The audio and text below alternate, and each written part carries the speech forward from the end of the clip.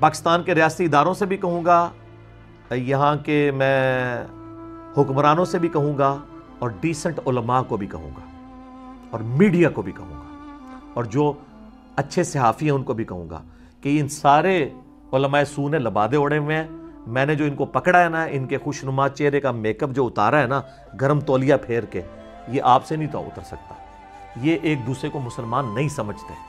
तो ये मुझे कैसे मुसलमान मानेंगे?